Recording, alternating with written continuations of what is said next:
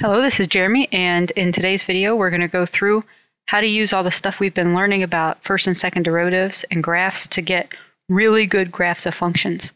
Now, I'm only going to go through one example because it gets pretty repetitive, and it's really something you have to practice. And, you know, there isn't something where one example is going to show you everything, but at the same time, multiple examples won't show you anything new. In other words, there's just a lot of uh, getting used to it that you have to draw these yourself a little bit.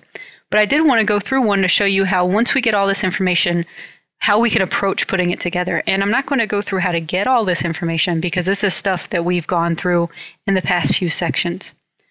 So, all right, I have this function f and I have a description for it, the domain, the x-intercepts, the y-intercepts, a couple limits. I have a sign chart for f prime, a sign chart for f double prime, and I even have a table of values.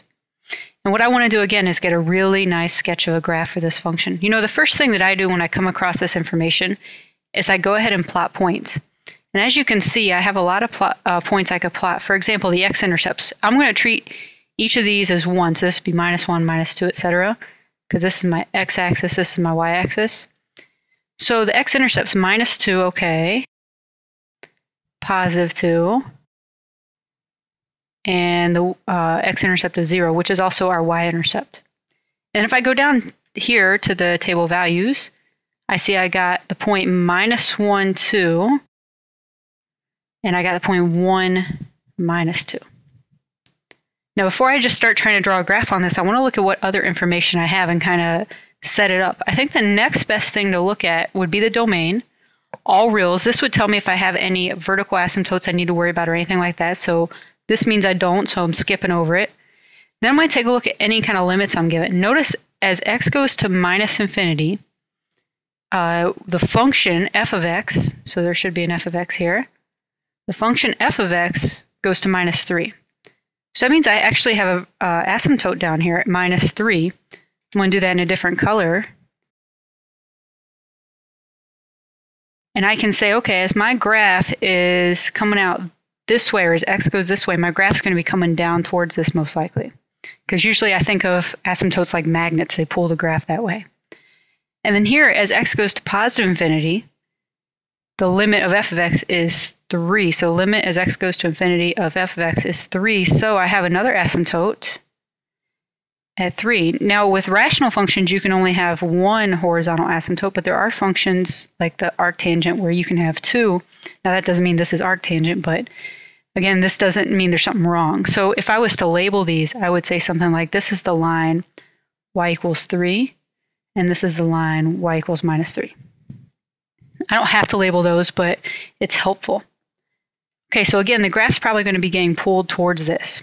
Now I'm going to start looking at the sign charts and see if I can get some kind of shape for these. I'm going to change colors so I can see what I'm doing. So okay, so for f prime, this means that f, the graph of f, is increasing until we get to minus 1. Okay, so until we get to x equals minus 1, which is right here, the graph's increasing. So it's moving up towards that point. Now what else is going on? Until I get to minus 2, oh, that's before there. So when I get to minus 2, F is concave up. Okay, so until I get to x equals minus 2, I'm increasing in concave up, and I got this asymptote that's going to pull things. So I want to draw a graph that's going up and pulled towards this, going up, but is also concave up. All right, so I'm going to try my best to do that up until I get to x equals minus 2. There, that does that. So it's concave up, it's increasing, and it's getting pulled towards the asymptote down here. All right, now it's supposed to keep increasing till I get to here, but then notice at minus 2, it's an inflection point. I change over to concave down. So it keeps increasing, but we switch over to a little more concave down. Well, not a little more. I mean, it is concave down, but I'm drawing it the best I can. It's not as dramatic as over here. Okay, now I'm at x equals minus 1. This is going to keep being concave down. So that's going to be easy. And until I get to 0 now, I'm going to be decreasing. Between minus 1 and 0, the function's decreasing. So concave down and decreasing is a nice, easy shape to draw. So maybe a little more curved would be nicer, a little more curved down, but it doesn't have to be that dramatic. Okay, now I'm at 0. Notice both of these are not defined. However, after zero, I end up switching over to concave up. And I continue decreasing. Now I keep decreasing till 1, till x equals 1, and I stay concave up till 2. So I'm going to just keep the graph going until I get to 1, which x equals 1 is this point down here, and then see what I do. So till I get to 1, it's decreasing and it's concave up. So that's going to be a shape sort of like this. So sort of like that. So that's what I'm trying to draw here. Keep the graph going, so kind of like that. And so there shouldn't be too much of a curve right here at this point, but it keeps going like that. And then finally now I'm at x equals 1.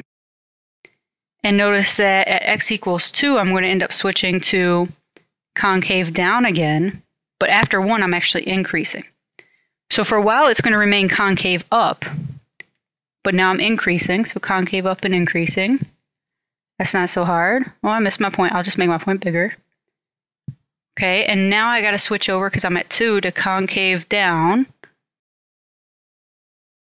And notice I continue increasing. I continue increasing forever, but also I got this asymptote here. So it's going to keep going, but now it's concave down. It's going to get pulled by that asymptote. So I say, okay, concave down getting pulled by that asymptote, something like that would make sense.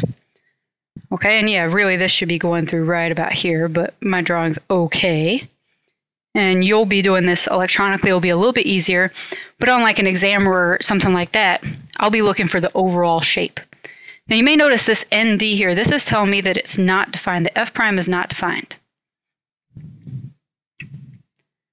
that means i'm either going to have a point or i'm going to have something like this where i go totally straight up for a minute on the function so really here if i was to draw this perfect this would be even more of a straight line through the point zero because we're not defined there. And that's really what that's trying to tell us.